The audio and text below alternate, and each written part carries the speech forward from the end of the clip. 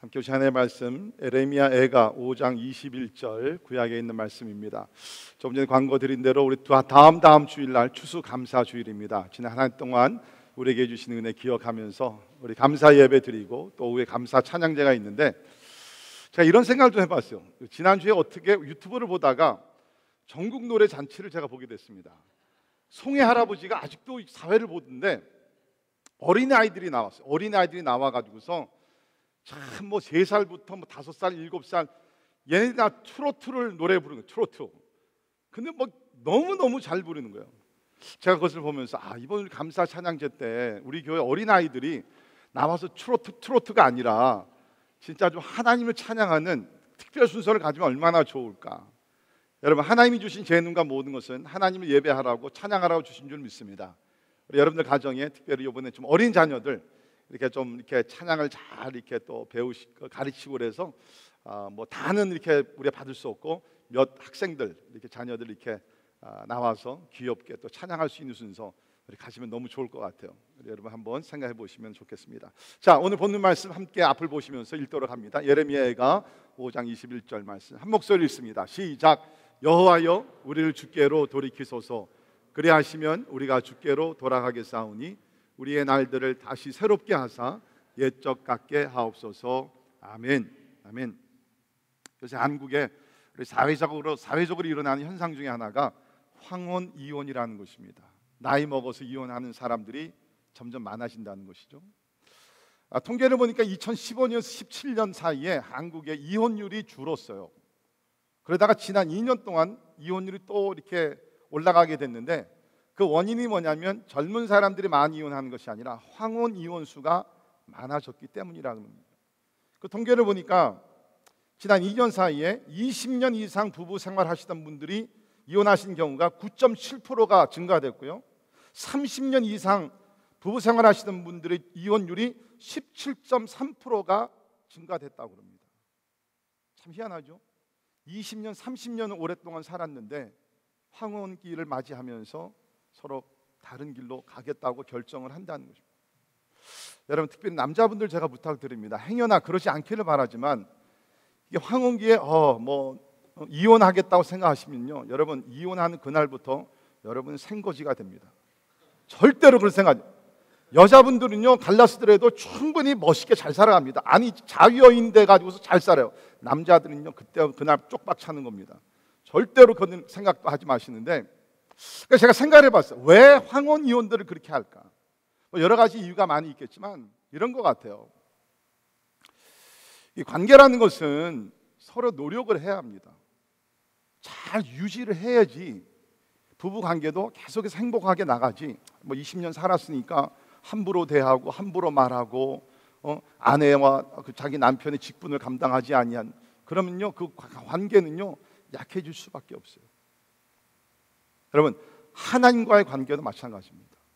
우리가 예수를 믿으면 하나님의 자녀가 된줄 믿습니다. 아멘입니까? 하나님과의 관계가 릴레이션십과 하나님과 관계가 형성이 됐잖아요. 여러분 생각해 보십시오. 우리 같은 죄인들이 인간들이 하나님과 개인적인 가족 관계가 이루어졌다. 이 자체도 굉장히 놀라운 것이에요. 자, 그러나 우리가 알아야 될 것은 관계가 이루어졌다 그래 가지고서 그 하나님과의 나의 관계가 계속 건강하게 행복하게 기쁘게 유지되느냐? 절대로 그렇지 않습니다. 양쪽이 다 노력을 해. 물론 하나님은 계속해서 우리를 사랑하시고 아껴주시고 돌봐주시고 하나님께는 문제가 없습니다. 그러나 우리가 하나님을 사랑하지 아니하면 우리가 하나님과 동행하며 우리가 남편 아내를 우리가 항상 생각하며 사랑하듯이 우리 하나님도 내가 계속해서 사랑하고 우리가 섬기고 경배하고 그러지 않으면 하나님과의 관계가 점점 멀어질 수가 있다는 것입니다. 이것이 현실이죠. 우리 주변을 보면 한때 예수님을 뜨겁게 믿던 사람들이 이젠 어디 갔는지조차 모를 정도로 영적으로 퇴보하고 영어는 백슬라이딩이라 그러죠. 점점 뒷걸음질을 하는 거예요. 우리 주변에 그런 사람들이 많이 있습니다. 지난 8월 초에 미국의 힐송, 힐송 찬양팀은 세계적으로 유명한 지금 찬양팀인데요. 힐송 찬양팀의 리더가 되는 머리 샘슨이라는 어, 찬양 인도자가 나는 이제부터 기독교 신앙을 포기한다 하면서 어, 선포를 했어요. 나는 이제 더 이상 기독교를 믿지 않는다. 기독교의 교리, 신앙, 진리를 믿지 않는다라고 선언을 하고 나왔습니다. 두 주 전에 그 사람이 그 어, 머리 샘슨이 이런 선언을 하기 두 주 전에 미국의 유명한 그 크리스천 저자가 있는데 자슈아 해리스라는 분이 있습니다. 이분이 또 나도 더 이상 기독교 신앙을 믿지 않는다. 나는 부인한다. 디나운스한다. 그렇게 고백을 했습니다. 굉장히 충격적이었어요. 아, 물론 우리는 그, 렇게 극적으로 나가진 않겠지만 우리 주변을 보게 되면 한때 예수를 잘 믿던 사람들이 세상으로 빠지고 타협하고 점점 하나님 곁에서 멀리 떠나가는 사람들의 숫자를 아마 우리는 어느 정도 알 것입니다. 아, 이분들이 진짜 하나님을 믿었다 그러면 이렇게 하나님을 점점 멀리 가고 또 믿음이 약해지면서 마음속에는 그런 생각이 있겠죠. 내가 하나님께로 언젠간 돌아갈 수 있을까? Can I come back to God? 만약에 내가 하나님께로 돌아간다 그러면 하나님께서 나를 다시 받아 주실까? 하나님이 나를 이전과 같이 다시 사용하실까? 네, 그런 생각이 우리들 가운데는 있을 수 있습니다. 자, 우리 오늘 본문 말씀 중심으로 해서 아, 회복의 의대에 대해서 말씀을 드리려고 하는데요. 하나님은 하나님의 자녀들이 잠깐 곁길로 갔다가 언제든지 회개하고 돌이키면 두 팔을 벌리시고 하나님은 우리를 환영해 주시고 우리를 회복시켜 주시는 하나님이신 줄을 믿습니다. 그러나 우리가 회복할 수 있는 비결이 우리의 위대한 결단이 아니라 이것 역시 하나님의 은혜인 줄 믿습니다. 내가 처음에 예수를 믿어서 하나님의 자녀가 될 때도 하나님의 은혜로서 이것이 관계가 이루어졌듯이 이제 내가 하나님과의 관계가 회복되는 비결도 하나님의 회복의 은혜 가운데서 이것이 가능한 줄을 믿습니다. 우리 오늘 본문 말씀 다시 한번 봅니다. 여호와여 우리를 주께로 돌이키소서 그리하시면 우리가 주께로 돌아가겠사오니 우리의 날들을 다시 새롭게 하사 옛적 같게 하옵소서. 옛적 같게. 아마 여러분들 가운데는 지금 하나님 참 그때 하나님 내가 그립습니다. 예수님을 만나고 나서 그 첫사랑 하나님과 동행하던 그러한 아름다운 삶 하나님 그런 삶을 내가 회복하기를 원하는데 나는 부족합니다. 나는 힘듭니다. 나는 불가능한 것 같습니다. 그러나 하나님께서 은혜를 주시면 I really want to go back. 나 진짜 하나님께로 돌아가고 싶습니다. 그런 마음들이 있으신 분들이 아마 계실 줄 믿습니다. 아마 우리들 중에는 이런 영적 공백 기간 아니면 퇴보하는 시간이 좀 기신 분도 있을 거예요. 지난 한 5년, 10년 하나님을 좀 떠났어요. 그런가 하면 우리들 가운데는 지난 한 몇 개월 사이 아니면 올해 한 해 동안 좀 하나님을 좀 떠나 있는 분들 계실지 모릅니다. 그것이 1년이 되건 5년이 되건 10년이 되건 상관이 없습니다. 언제든지 하나님은 은혜의 하나님으로서 우리가 하나님 앞에 돌아오기를 원하면 하나님께서는 은혜를 받아주시고 우리의 모든 삶을 회복시켜 주실 줄을 믿습니다. 자, 근데 여러분 중요한 것은 이것입니다. 만약에 우리가 돌아가지 않으면 어떤가? 주변에 그런 사람들 있잖아요. 한때 교회를 잘 다니고 예수를 잘 믿었는데 타협하면서 여러 가지 이유로 교회를 떠납니다. 하나님을 떠납니다. 근데 아직 돌아오질 않고 있어요. 그럼 이런 사람들은 어떻게 되는가? 우리들 가운데도 내가 지금 영적으로 좀 약해지고 뒤로 퇴보하고 있는 것 알아요. 근데 이 시간이 가면서 우리가 이것도 익숙해집니다. You get used with backsliding. 어, 그전 내가 막 열심히 하나님을 섬기고 막 물불을 가리지 않고 하나님께 헌신을 했는데 이제는 좀 주춤하고 있어요. 그런데 처음에는 좀 이렇게 양심에 걸리는 것도 있고 믿음에 걸리는 것도 있어서 하나님께 돌아가야지 그런 마음이 있었는데 이런 상태로서 1, 2년 살다 보니까 this is. 뭐 이렇게 사는 것도 괜찮아. 주변을 보니까 그렇게 사는 사람들이 많이 있어요. 뭐 그냥 남은 생에 그냥 이렇게 대충 다니지 뭐. 그러면 이런 사람들은 어떻게 되느냐? 자, 히브리서 우리에 있는 말씀 잠깐 봅니다. 거기 보면 나의 의인은 믿음으로 말미암아 살리라.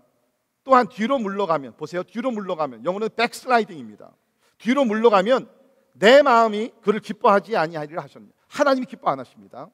뿐만 아니라 우리는 뒤로 물러가 멸망할 자가 아니요. Do see? 뒤로 물러가서 회개하고 돌이켜서 하나님께로 컴백하지 않으면 멸망의 길로 나간다고 성경이 여기서 이야기를 하고 있습니다. 오직 영혼을 구원함에 이르는 믿음을 가진 자입니다.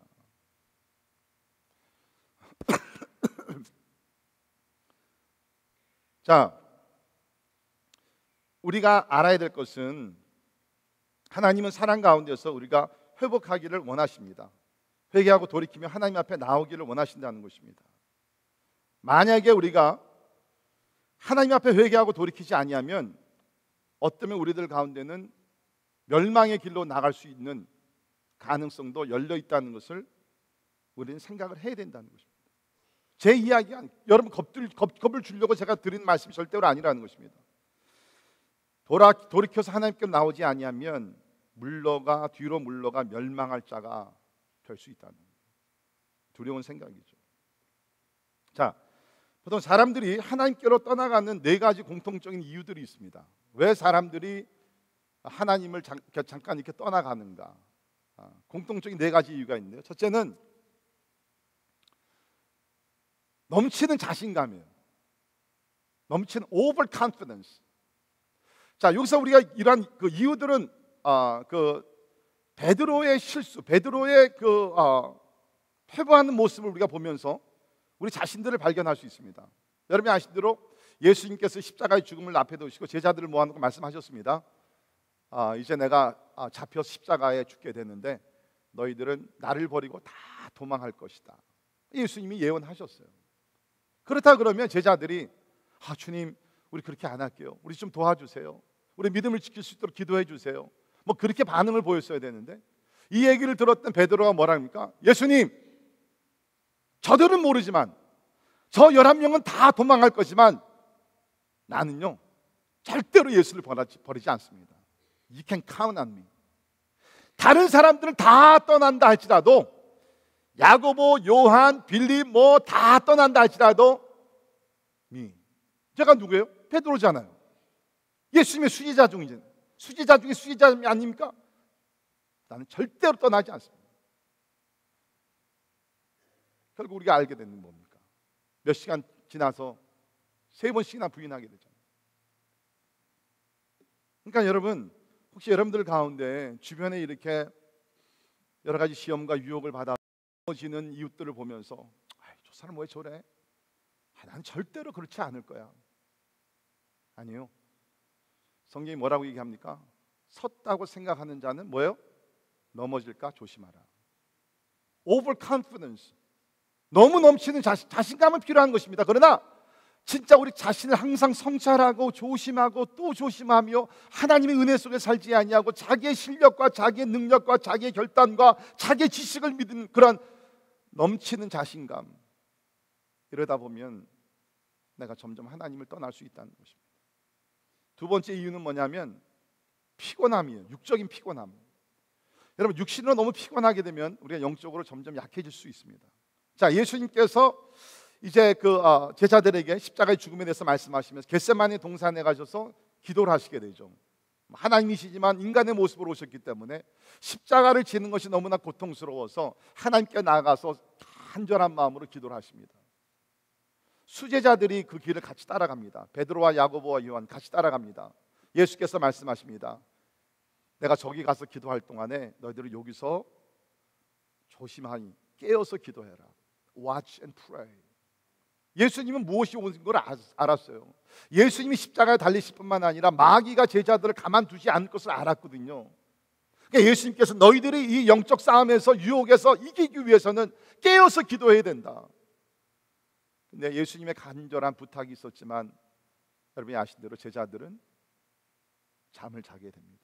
한 번, 두 번 잠을 계속 자게 되죠. 그러니까 육신이 피곤하면요 영적으로 우리가 탈진하고 우리가 타락도 할 수 있고 약해질 수 있습니다. 엘리야도 그랬잖아요.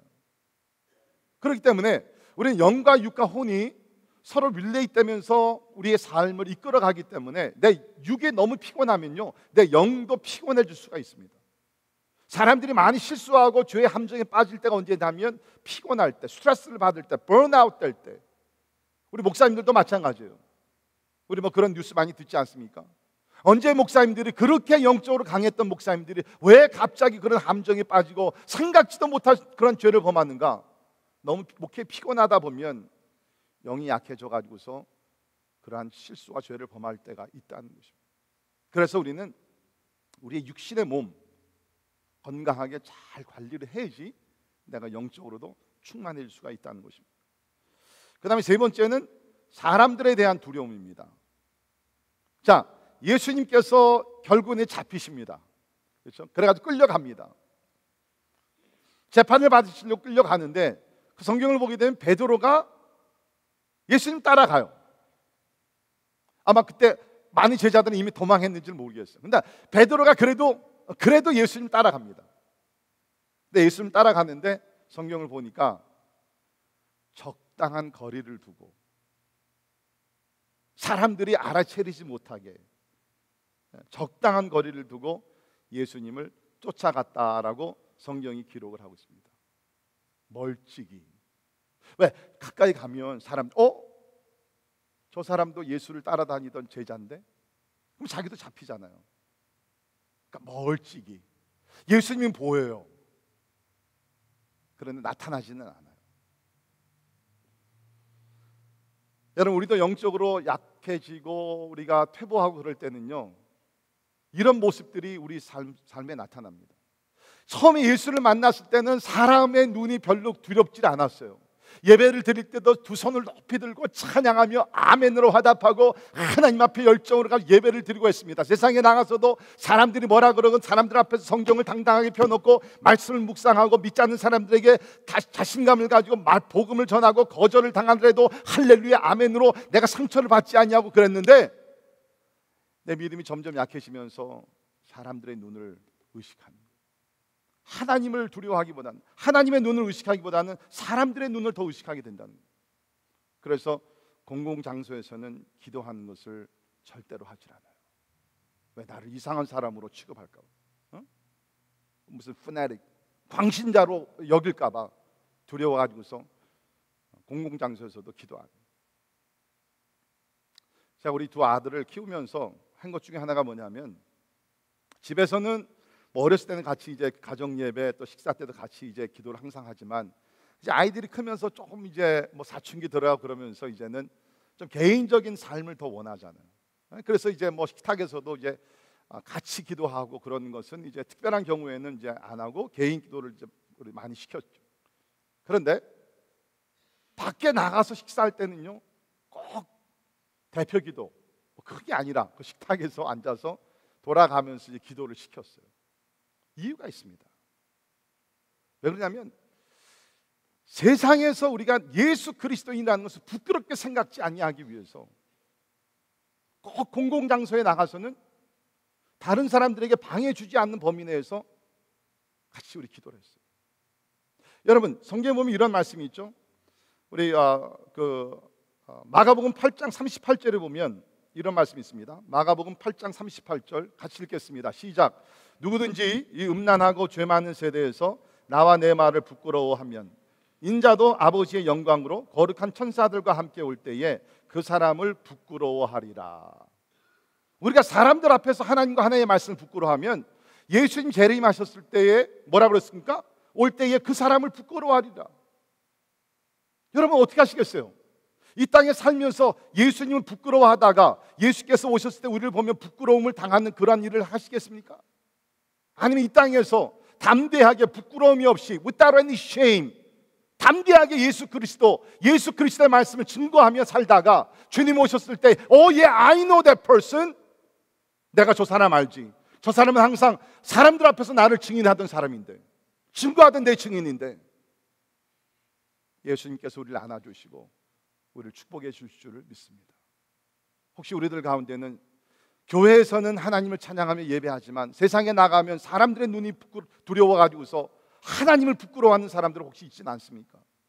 직장에서 여러분이 기독교인이라는 것을 알면 어떤 불이익을 당할까봐 그리스도인의 아이덴티티를 숨기면서 직장 생활하고 있는 분들은 안 계십니까?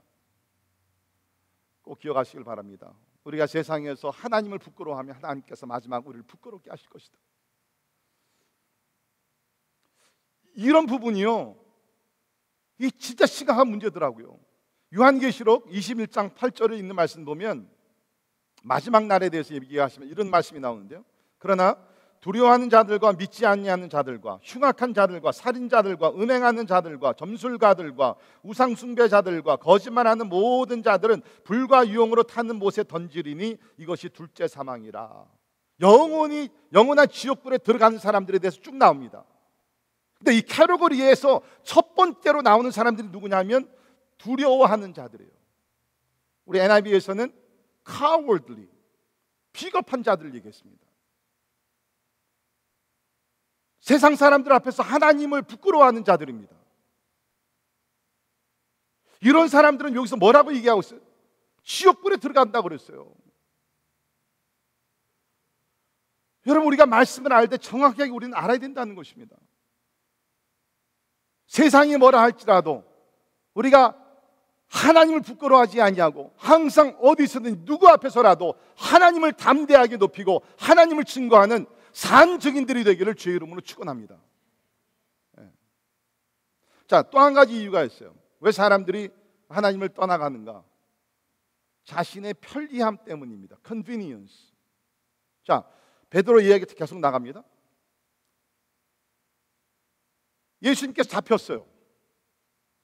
거기 대제사장의 뜰에 사람들이 모여 있습니다. 아마 이 모인 사람들은 군중들이겠죠. 예수를 잡아 십자가 이제 못 박으려고 준비하던 사람들이겠죠. 근데 거기 이제 밤에 추워가지고서 거기 그 모닥불 같은 걸 피워놓고 사람들이 거기 이제 모여가지고서 불을 쬐고 있습니다. 예수님은 저 법정에서 지금 고난을 받고 계세요. 근데 베드로는 그 군중 사이에서 껴가지고서 불을 쬐고 있습니다. 그러니까 따뜻했겠죠. 사람들은 아직은 아무도 몰라요. 근데 여러분 우리도 신앙생활 하면서 그렇게 생활할 때가 많이 있다는 거예요. 지금 예수님은 뭡니까? 지금 어떻게 해서라도 많은 영혼들을 구원시키고 하나님의 나라를 확장하고 진짜 그 가난 속에 있는 자들을 구원시키고 진짜 눌린 자들을 풀어주고 지금 주님은 진짜 그 마음을 가지고 있는데 우리는 나의 편안한 생활 이것을 하면서 we just enjoy our life. 불을 쬐면서 따뜻하게 좋은 집에서 좋은 옷 입고 편안하게 살면서 하나님은 무엇을 하는데? You don't care.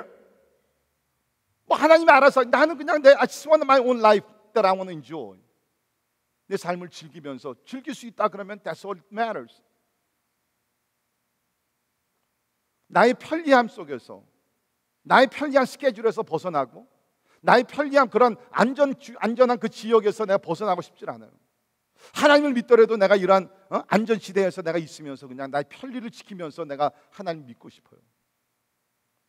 예수님 뭐라 그러셨어요? 아무든지 나를 따라오려거든 자기를 부인하고 십자가를 지고 주님은 날마다 쫓아가야 된다 그랬어요. 여러분 분명히 말씀드리죠. 예수를 믿으면 구원 받습니다. 천국에 들어갑니다.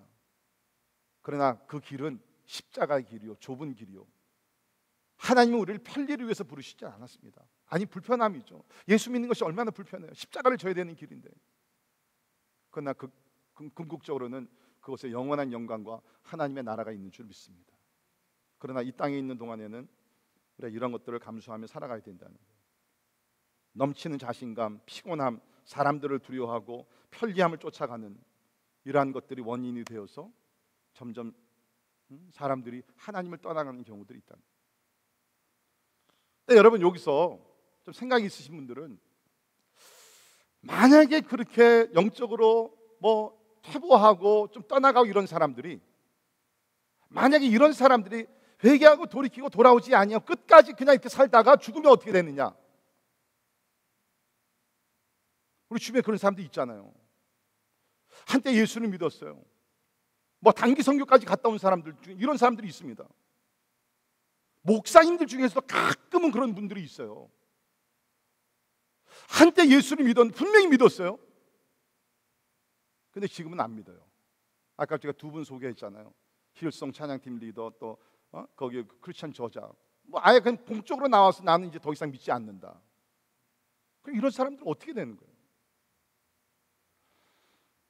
여러분이 아신 대로 신학적인 면에서 이런 그 이슈를 가지고 갈라지게 됩니다. 복음주의자들 가운데서도 그러니까 성경을 하나님의 말씀을 믿는 사람들 가운데서도 이제 이 문제를 놓고서 견해가 갈라집니다. 한쪽에는 영원한 구원성을 강조하는 eternal security를 강조하는 칼빈주의자들이 있고요. 이쪽에서는 아니다. 우리가 한번 예수를 믿었다 할지라도 우리가 끝까지 예수를 잘 믿지 아니하면 우리는 구원을 이룰 수 있다. 그것을 강조하는 알미니안 주의자들이 있습니다. 얼마 전에 여기 우리 히스패닉 교회에 우리가 우리 카로 목사님과 이렇게 대화를 했는데 그 목사님 그런 얘기 하더라고요. 얼마 전에 오늘 했는데 그 교회 가니까 아마 이쪽 칼빈주의를 이렇게 가르치는 교회를 방문하셨던 것 같아요. 목사님 내가 오늘 교회 갔는데 그 교회에서는 그렇게 가르치더라고요. 한번 예수 믿으면 무슨 일 있더라도 구원을 잃지 않는다. 그러면서 그분 우리 그 우리 가로 목사님은 그 완전히 이단 아닙니까? 저한테 그러더라고요. 완전히 그분은 알미니안 주인 것 같아요. 우리 가로 목사님은. 네, 여러분 중요한 것은 성경이 뭐라고 얘기하느냐가 중요합니다. 네, 여러분 성경은요 잘 들으세요. 두 가지를 다 이야기를 합니다. eternal security 한 번 믿는 사람은 영원히 그 구원을 잃지 않는 eternal security도 이야기를 하고 만약에 우리가 예수를 잘 믿지 아니하면 구원을 잃을 수 있다는 경고의 말씀도 생각보다는 여러 군데서 나와요. 뭐 예를 들게 되면 우리가 지금 시간이 없어 살펴보지 못하지만 히브리서 10장 39절, 히브리서 4, 6장 4절에서 6절, 고린도전서 9장 27절 이런 말씀들을 보게 되면 우리가 예수를 믿더라도 끝까지 신앙의 경주를 달리지 아니하면 구원을 잃어버릴 수 있다 는 경고들이 꽤 여러 곳에서 나옵니다.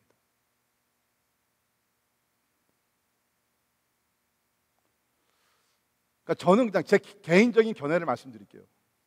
여러분 우리에게 중요한 것은요. 칼빈이 가르친 것과 알미니우스가 가르친 것이 중요한 것이 않습니다. 신학이라는 것은요. 사람들이 만들어낸 교리입니다. 이거는 그냥 우리에게 도움이 프레임이 프레임의 역할을 하는 것이지 그것이 절대적인 진리는 아니에요.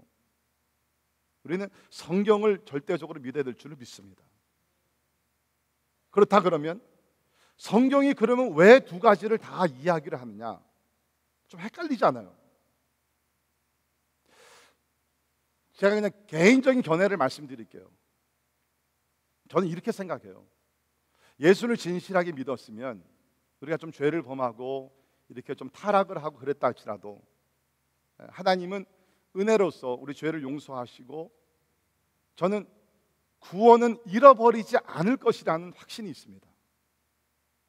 그 이유는 구원을 잃어버릴 수 있다는 구절들도 성경에 나오지만 전체를 봤을 때는 성경 전체를 봤을 때는 구원을 잃어버릴 수 있다는 것보다는 잃어버리지 않을 것이라는 구절들이 더 많아요.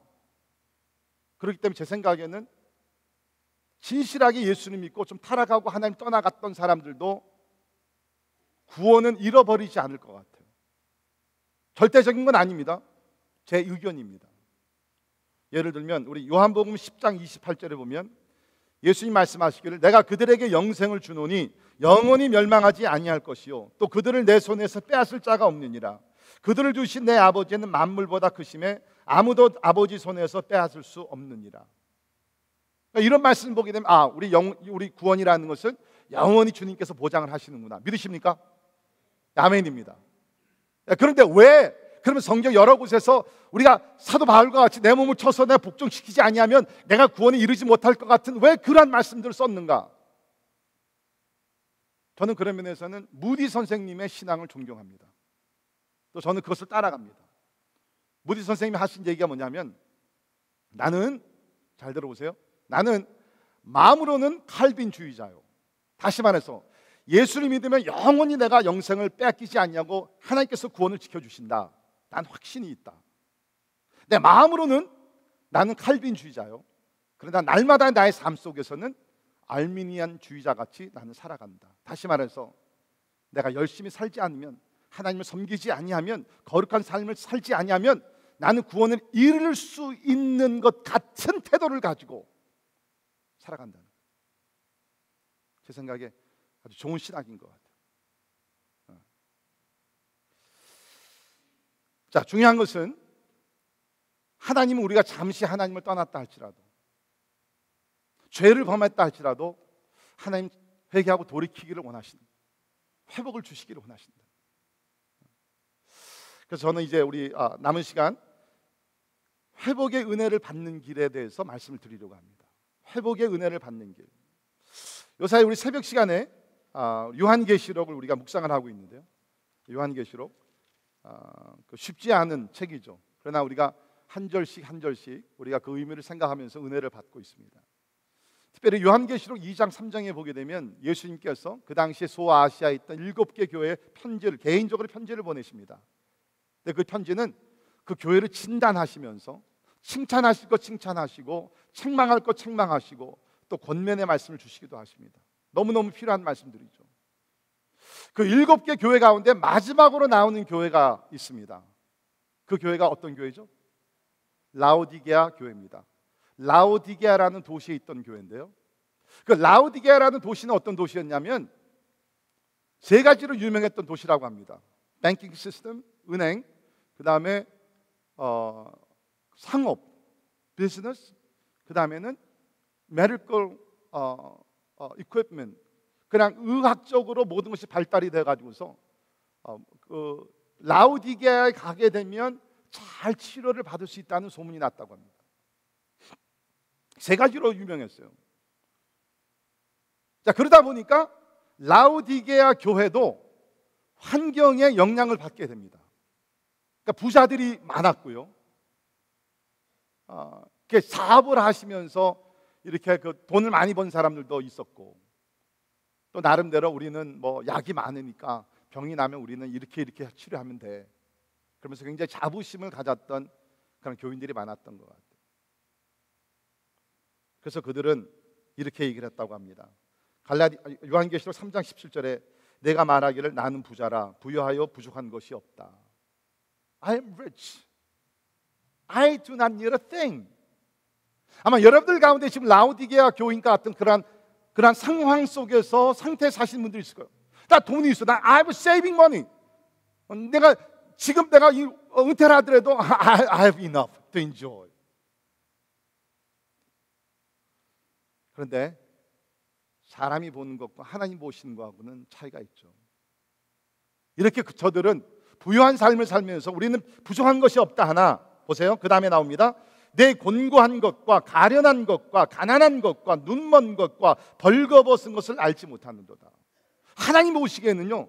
부유한 사람이 아니라 가난한 사람이 하나님 보시기에는요 건강한 사람이 아니라 병든 사람이었습니다. 하나님 보시기에는요 보는 사람이 아니라 보지 못하는 소경이었습니다. 자, 여러분과 저에게 이 말씀을 한번 적용해 보기를 바랍니다. 여러분 가운데 진짜 라우디게아 교인과 같이 just have abundance in your life. 모든 것이 풍부해. 물질도 많고 뭐 건강도 좋고요. You just have everything. 막 넘쳐요, 넘쳐. 세상적으로. 그러나 하나님 보시기에는 어떤? 하나님 보시기. 그것이 중요한 것이 하나님 보시기. 자, 하나님은 이 라우디게아 교회가 여러분이 아시는 대로 한마디로 요약하면 미지근한 신앙을 가졌던 교회죠. 미지근한, lukewarm. 차지도 아니하고 뜨겁지도 아니하고. 현대인 교회들 가운데 그런 사람들 많아요. 이건 뭐 아무것도 아니에요. 교회는 나오긴 나온 예수를 믿는다 그랬는데 진짜 하나님 앞에서 쓸모 있는 사람들이 아니에요. 명목상의 나미널 크리스천들이 얼마나 많습니까? 미시근한 신앙인들. 주님은 미지근한 신앙인들을 가만두지 않으시더라고요. 바로 세우기를 원하세요. 차든지 뜨겁든지 그 포인트는 뭐냐면 하나님이 사용할 수 있는 사람들이 되라는 거예요. useful Christian. 열매를 맺을 수 있는 하나님께 사용할 수 있는 그리스도인들이 되기를 바라신다는 것이죠. 그래서 하나님께서는 그 교회에다 야, 너희들 그렇게 하면 안 돼. 언제까지 미지근한 신앙 생활을 하다가 진짜 멸망의 길로 가겠느냐? come back. 돌아와야 돼. 그러면서 회복할 수 있는 길을 제시하십니다. 첫 번째 길이 뭐냐면 자신의 문제를 발견하고 적합한 방법으로 치료해야 된다는 것입니다. 자신의 문제를 발견하고 적합한 방법으로 치료해야 합니다. 영적인 병은 육적인 병과 비슷합니다. 영적으로 퇴보하는 것은 영적으로 병이 들었기 때문이라는 것이죠. 우리가 병을 고치기 위해서는 병의 원인을 찾아내고 치료를 받아야 되듯이 영적인 병도 내가 어떤 병에 걸렸는지를 알고 거기에 적합한 방법으로 대치를 해야 된다는 치료를 받아야 된다는 그래서 주님께서 말씀하십니다. 거기서 뭐라고 얘기하시냐면 불로 연단한 금을 사라고 얘기합니다. 내가 너를 권하노니 내게서 불로 연단한 금을 사서 여기서 얘기한 불로 연단한 금이라는 건 뭘까요? 믿음이죠. 제 믿음이 떨어졌는데 믿음이 회복되기를 원한다. 말씀을 통해서 믿음이 회복되기를 원한다. 그 다음에 뭡니까? 흰 옷을 사서 입어 벌거벗은 수치를 보이지 않게 하라. 흰 옷이랑 예수 그리스도의 십자가의 보혈로 정결함을 받은 예수 그리스도 십자가의 은혜입니다. 그 다음에 나오는 것은 뭡니까? 안약을 사서 눈에 발라 보게 하라. 너희들이 지금 눈이 병이 들었다는 거예요. 봐야 될 것을 보지 못한다는 것입니다. 여러분 오늘날 무엇을 보며 사십니까? 아침에 자다가 깨어나서 눈을 번쩍 뜨시면 처음으로 눈에 보이는 것이 뭡니까? 라우디게아 교회인들은 눈은 떴지만 영적으로 소경이었어요. 봐야 될 것을 보지 못했어요.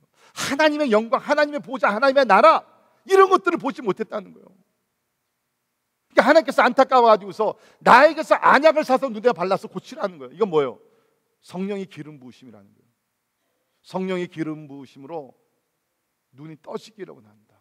눈이 치료 받아서 진짜 하나님의 영광을 보며 살아가기를 하나님의 거룩하심을 보며 살아가기를 원한다. 여러분이 영적으로 타락하고 약해지고 떨어져 나간 이유가 뭡니까? 거기에 적합한 하나님의 치료 방법을 찾으세요. 말씀이면 말씀, 기도면 기도, 용서면 용서, 뭐 어? 회개면 회개, 여러 가지 방법을 여러분이 찾으셔야 됩니다. 두 번째 방법 뭡니까? 미지근한 신앙을 버리고 뜨거운 열심을 내야 합니다. 미지근한 신앙을 버리고 뜨거운 열심을 내야 합니다. 거기 계시록 3장 19절에 물은 내가 사랑하는 자를 책망하여 징계하노니 그러므로 내가 열심을 내라. 열심을 내라라고 여기서 이야기를 하고 있습니다. 예수님은 이 라우디아 교회를 아직 포기하지 않으셨어요. 다시 열심을 내서 진짜 하나님 찾으시는 아름다운 교회로 부흥하고 발전하고 새롭게 되기를 하나님께서 원하신다는 것입니다. 근데 여기서 얘기하는 열심이라는 것은요. 감정적인 열정이 아니에요. It's not emotional like heart or 어? 뭐 emotional zeal. 여기서 얘기하는 열심이라는 구체적인 행동을 놓고 얘기를 합니다. 구체적인 행동. 우리 보통 우리가 뭐 아, 영적으로 새롭게 되고 막 부흥하고 뭐 우리 대부분이 막 그 그냥 감정적인 요소를 많이 생각하는데 물론 그것도 필요하죠. 여기서 열심히라는 것은 구체적인 행동의 변화를 놓고 이야기를 합니다. 내가 말씀이 식어졌으면 말씀도 사모하고 사역이 식어서 사역에 투입을 해가지고서 사역에 들어가서 열심을 내고 전도가 식어졌으면 나가서 잃어버린 영혼들 데리고 눈물을 흘리면서 복음을 전파하고 구체적인 행동, 구체적인 행동, 열심을 내라는 거예요. 열심히 내라. 저는 참 감사한 게 우리 교회 열심을 내서 하나님을 섬기는 사람들이 어, 있다는 거예요. 우리 어저께도 우리 중고등부 락긴 했어요. 밤새도록 우리 학생들이 여기서 막 준비 찬양하고 게임도 하고 막 그랬습니다. 아침에 되니까 그 엄마들이 여러분들이 오셔가지고서 그 아이들을 위해서 막 아침을 준비하시는데 참 그 모습이 너무나 아름답더라고요.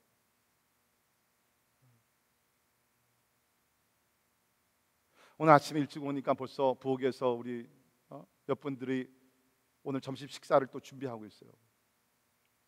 누구나 다 주일 아침이면 조금 더 자기를 원하고 좀 쉬기를 원하고 다 이런 게 있죠. 그러나 나의 열심을 통해서 다른 사람들에게 혜택을 주기 위해서 누군가는 열심을 내서 이 교회를 지금 섬기고 봉사하고 있습니다. 제가 부탁드리고 싶은 것은 이런 열심히 있는 사람들의 모습을 그냥 보고서 칭찬하는으로서 멈추지 마시고 join them? 열심히 내는 사람들과 같이 어깨를 내면서 열심히 내면 교회가 얼마나 더 부흥하고 저들의 그 짐도 얼마나 더러우시겠습니까? 우리 함께 열심히 내기를 주님의 이름으로 축원합니다. 아멘이 없어요? 축원합니다. 네. 열심을 내 여러분 설교를 아무리 듣더라도요 내가 이 말씀을 듣고 나서 내 행동의 변화가 일어나지 않으면 열심을 내지 않으면 아무 뭐가 없어요. 근데 제가 이렇게 목회를 하면서 이렇게 좀 이렇게 관찰을 이렇게 많이 하면서 목회를 하, 하는데 이렇더라고요. 우리 교인들이 한때 열심히 내다가 좀 식어지는 분들 을 보면 다른 것에 열심을 내기 때문에 하나님을 향한 열심이 식어지더라고요. 그러니까 하나님을 향한 열심이 쉬프트가 돼가지고서 다른 것에 대한 열심을 내더라고요. 물론 여러분 열심이라는 건 좋습니다. 그래서 내가 무엇을 위해서 누구를 위해서 열심을 내는가? 제가 그 오래전에 이제 욕서 목회하다가 시카고에 돌아갔는데 과거에 우리 교회 어떤 집사님이셨는데 그분을 만났어요. 그분을 만나서 이제 식사하면서 이 얘기 저 얘기 하고 있는데 그 집사님이 보니까 어깨가 한쪽이 이렇게 축 내려갔어요 완전히 이렇게 내려갔어요. 그래서 아 집사님 어깨 왜 그러세요?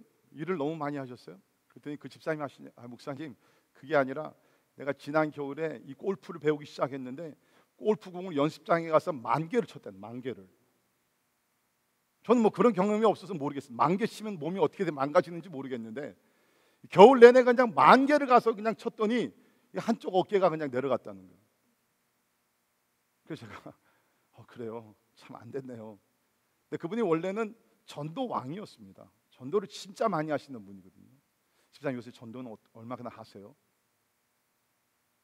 목사님 부끄럽지만 내가 골프를 배우고 나서 전도는 한 사람도 못했습니다. 여러분 골프가 나쁘다는 건 절대로 아니에요. 건강을 위해서 하시면 좋죠.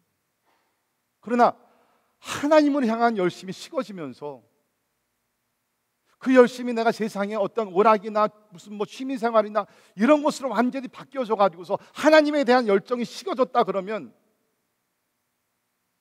그것은 문제가 되겠죠. 그것은 문제가 되겠죠.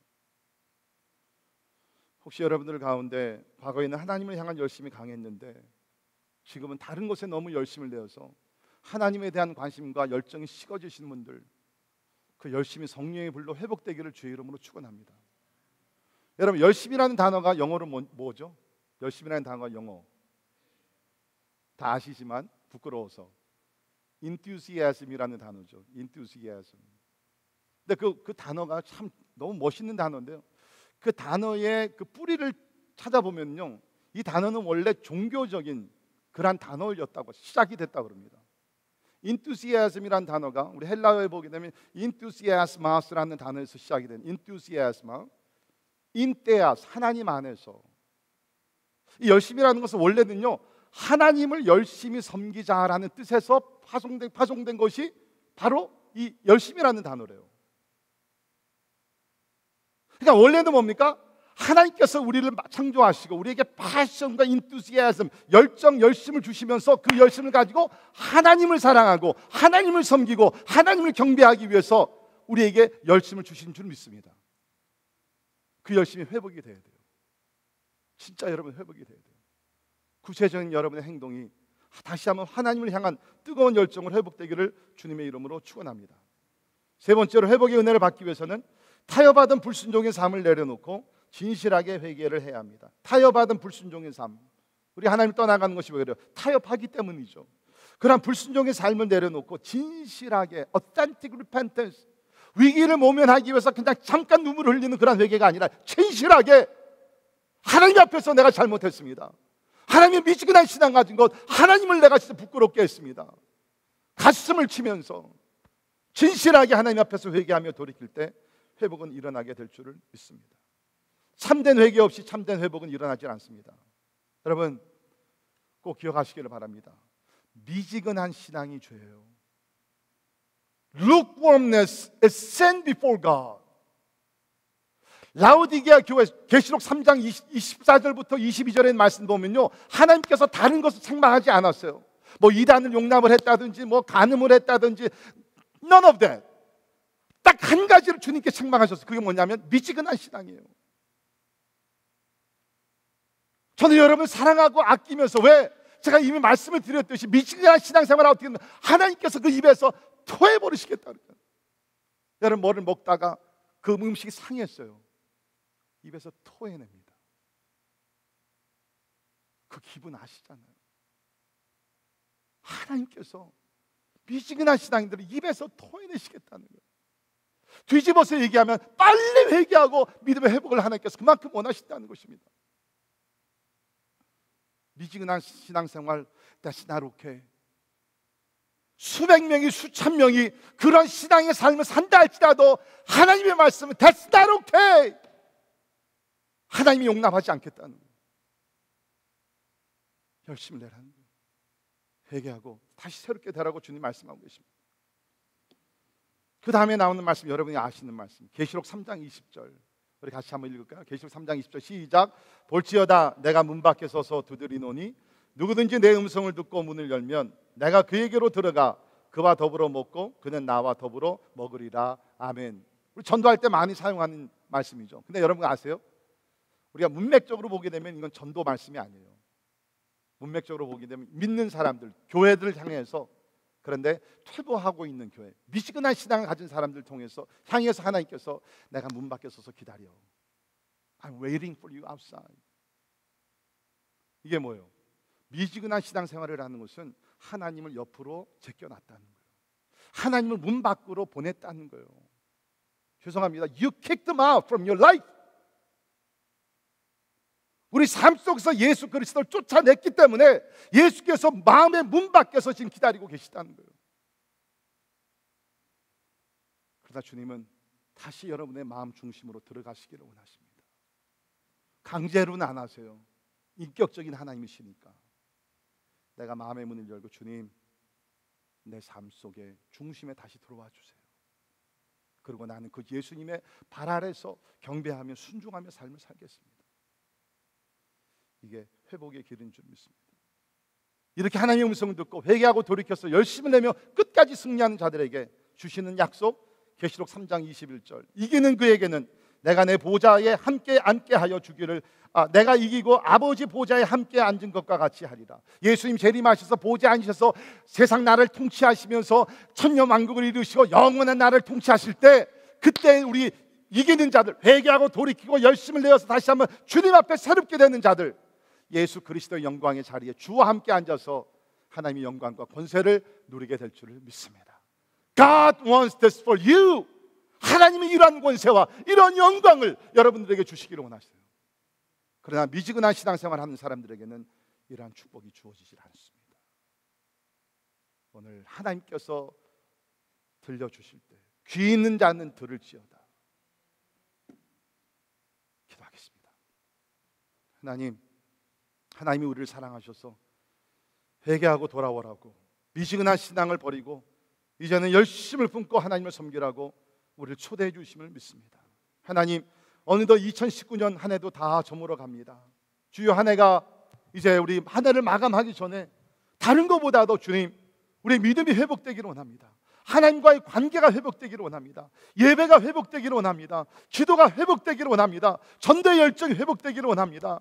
하나님이여 우리 교회 가운데 이러한 회복의 은혜를 선물로 주시옵소서. 예수님 이름으로 간절히 기도하옵나이다. 우리 다 일어나셔서 찬양하시겠는데요.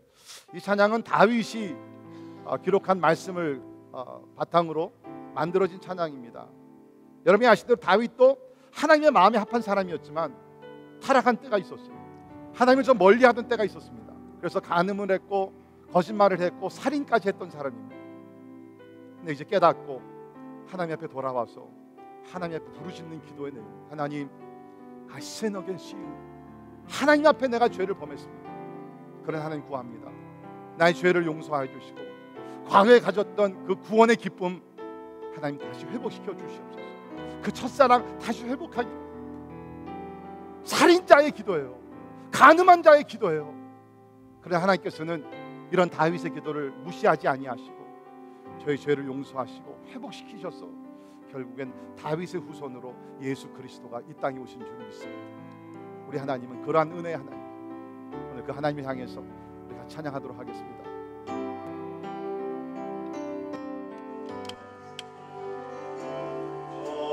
주시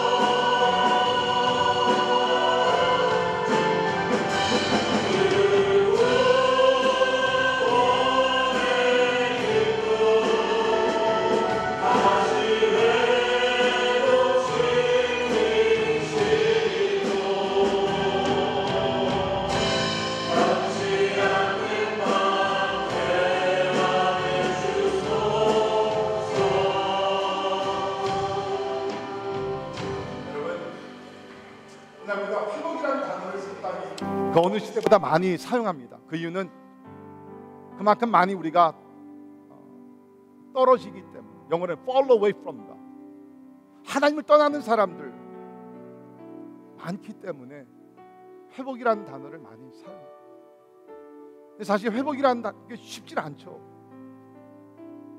하나님 앞에서 회복되는 것은 이렇게 되지만 대인 관계 속에서 깨졌을 때 문제가 생기고 죄를 범하고 그랬을 때 서로가 서로를 회복시켜 주신다 준다는 건 쉽지 않은. 근데 하나님의 은혜를 체험하면 내가 하나님 앞에서 회복될 뿐만 아니라 우리 형제들 가운데서도 회복되게 될 줄 믿습니다. 이것이 하나님의 은혜인 줄 믿습니다. 작년에 시카고에 제 제자 중에 한, 한 친구가 목사님인데 목회를 잘하는 목사님이에요. 근데 어, 어떤 여러 가지 이유로서 이렇게 그 실족하고 이렇게 아, 좀 치명적인 사고가 있었습니다. 그 죄를 범했던 것 같죠. 자세한 건 잘 몰라요. 아무튼 그래서 목회에서 잠시 이제 어, 내려앉고 회개하고 어, 좀 이렇게 하나님 앞에 어, 그 엎드리고 그런 시간들이 있었어요. 지난 주에 이 친구가 어떻게 지냈는지 궁금해서 그 교회 웹사이트를 들어갔더니 아, 다시 이제 어, 담임 목사로 회복이 돼서 그 설교를 참 잘하고 있더라. 얼마나 감사한지. 이 우리 하나님.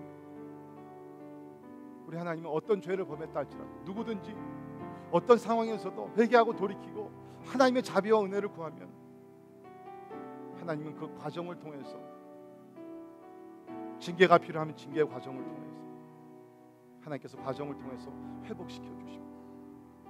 여러분 하나님이 여러분 사랑하십니다. 여러분이 어떤 상황 하나님을 얼마나 오랫동안 멀리 떠나는지 모르 어떤 죄를 범했는지 모릅니다. 그러나 하나님을 바라보는 자 하나님께서 완전하게 회복시켜 줄 줄 믿습니다. 우리 이 시간에 같이 기도합시다. 찬양팀 계속 찬양하시면서 하나님 나 하나님께 돌아가길 원합니다. 과거에 가졌던 그 뜨거운 열정, 그 사랑, 그 기쁨 하나님 회복시켜 주시옵소서. 또 혹시 여러분이 주변의 이웃들을 회복시켜야 될 분들이 있으면 기도하세요. 하나님 내 남편, 내 아내, 내 자식들, 내 주변에 있는 성도들 하나님 내가 주의 사랑으로 은혜로 회복시키기를 원합니다. 하나님이 나에게 은혜를 달라. 사람의 의지로 불가능해. 하나님 은혜가 필요한 줄 믿습니다. 말씀 생각하시고 같이 통성으로 장같이 기도 기도합시다. 하나님 아버지 하나님 주님 앞에 나가기를 간절히 기도합니다. 주님 아버지 하나님 하나님 아버지 하나님 아버지 도와주시기를 간절히 기도합니다. 주의 성령으로 기름 부으시사 아버지 하나님 도와주시기를 간절히 기도하고 합니다. 하나님 아버지 하나님 은혜 하나님 아버지 우리를 회복시켜 주신 하나님 아버지 도와주셔서 아버지 하나님 함께 주시기를 간절히 기도하고 나옵니다. 아버지 하나님 아버지 도와주시기를 간절히 기도하고 하나님 아버지 도와주시옵소서 아버지 하나님 아버지 회개가 있다 우리 하나님이여 은혜를 베풀어 주시기를 간절히 기도하고 나의 하나님 아버지 성령으로 성령으로 주여 아버지 하나님 도와주셔서 아버지 위하시기를 간절히 오 하나님 아버지 하나님 주님 아버지 도와주시기를 간절히 아버지요 하나님 아버지 도와주시기를 간절히 기도합니다. 하나님 아버지 도와주시오 주여 아버지 하나님 하나님 아버지 도와주시오 아버지 하나님 우리를 다시 한번 새롭게 된 역사. 주님 아버지 하시기를 간절히 기도하옵니다 주여 아버지 하나님 하나님 아버지 성령 주님 아버지 하나님 하나님. 아버지 하나님 앞에 돌아가게 주님 아버지 하나님 축복해 주시기를 간절히 기도하옵니다. 하나님이여 아버지 하나님의 은혜를 부어 주의 성령을 부어 주시기를 간절히. 하나님 아버지 위하시고 주님 아버지 하나님 하나님 아버지 도와주시고 아버지 하나님 아버지 성령으로 주시고 아버지 하나님 아버지 도와주시고 아버지 하나님 아버지 아버지 아버지 하나님 아버지 도와주시기를 간절히 기도하옵니다 아버지 하나님 우리 가정들이 회복되게 도와주시고 주여 아버지 하나님 하나님 아버지 도와주시기를 간절히 기도하옵니다. 오 하나님 아버지 주님 아버지 주님 앞에 결단하며 나가는 아버지여 간구하시더를 주여 내배 풀어 주시기를 간절히 기도합니다. 오 하나님 아버지 하나님 하나님 아버지 할렐루야 아버지 찬양합니다. 나를 주님 앞에서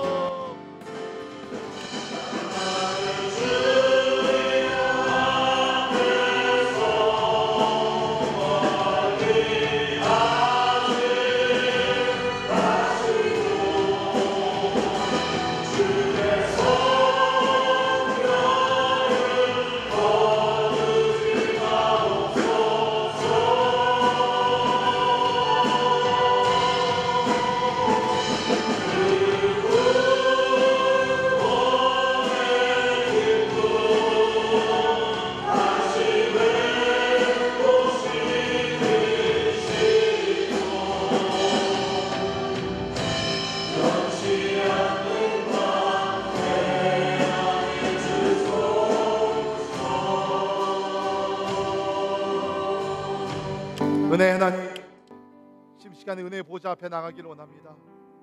우리 허물과 우리 과거와 우리의 죄악과 모든 것을 아신 하나님 자 예수님은 우리를 위해서 모든 것을 다 바치시고 희생하셨는데 이러한 놀라운 사랑을 받은 우리들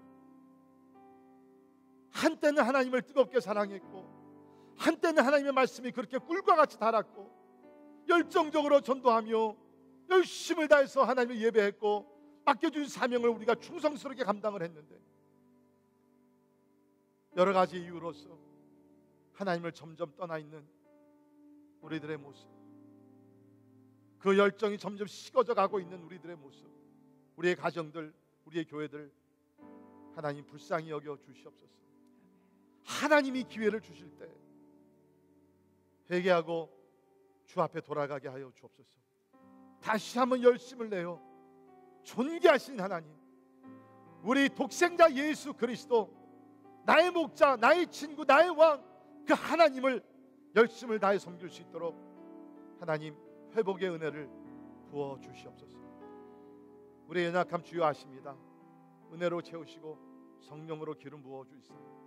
우리의 결심 위에 하나님의 성령으로 인쳐 주시고 우리의 결단 위에 하나님의 성령으로 기름 부어 주시사 나의 힘과 능력이 아니라 성령의 능력 가운데서 변화된 삶을 살 수 있도록 하나님 도와 주시옵소서.